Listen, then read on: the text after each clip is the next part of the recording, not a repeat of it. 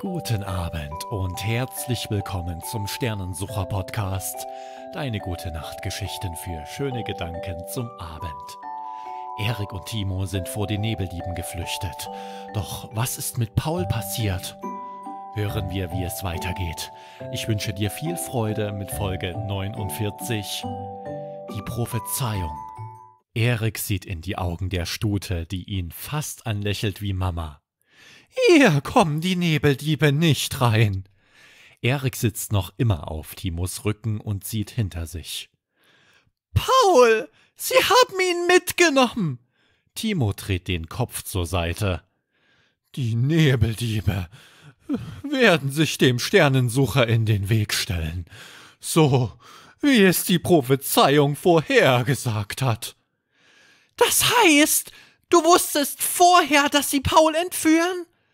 Erik bekommt einen hochroten Kopf. Die alten Schriften beschreiben den Weg des Sternensuchers, den Weg zur Erlösung von Hugland, vom Nebel, so dass das Licht des Weihnachtssterns zurückkommt. Erik klatscht mit den Händen auf Timos Rücken.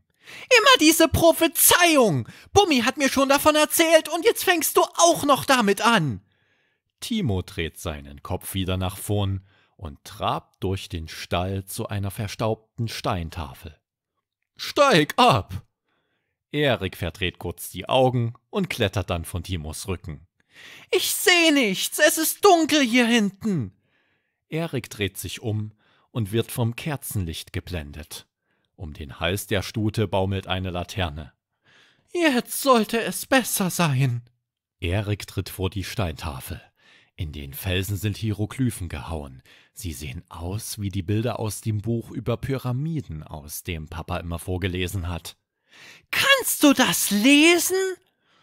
Ja, das ist Pferdisch, die Sprache der Pferde. So, und ich, ich kann es nicht lesen. Du musst sie berühren. Erik legt seine Hand auf die Tafel. Plötzlich strahlen die Symbole und tanzen auf dem Stein durcheinander.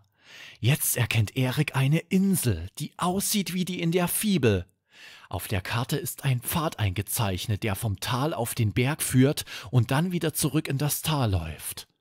Auf dem Pfad erkennt er ein Gesicht mit zwei langen Ohren und einem Schnurrbart. Das ist Hoppe! Erik folgt dem Pfad mit seinem Zeigefinger. An den Bergen hängen dichte Wolken. Der Weg endet am Gipfel und dort ist ein Stern zu sehen und da am Hang eine kleine Figur. Ehre geht näher an die Steintafel. Das Männlein am Berg trägt einen Ranzen und hat ein Buch unter dem Arm. Erik sieht zu Timo und der Stute auf. Der sieht aus wie ich.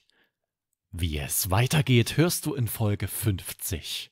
Und wenn dir diese Geschichte gefallen hat, dann danke ich dir, dass du den Sternensucher Podcast abonnierst und in der nächsten Folge wieder dabei bist.